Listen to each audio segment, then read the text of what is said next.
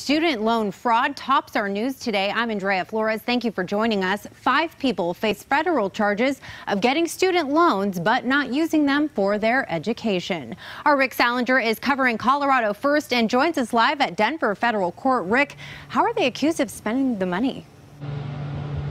Well, Andrea, student loans are supposed to be used for one thing and one thing only, and that is education. The five indicted by a grand jury have been accused of using student loan money for such things as facelifts, gambling, and personal travel. The first of the group to appear before a federal magistrate this morning was Carmen Sanchez. She is identified as the mother in this group.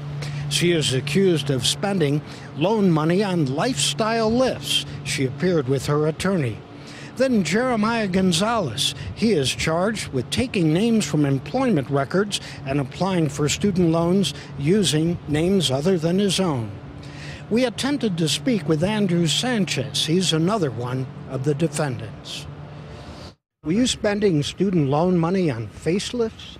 No, thank you. How about gambling? No, thank you. Travel?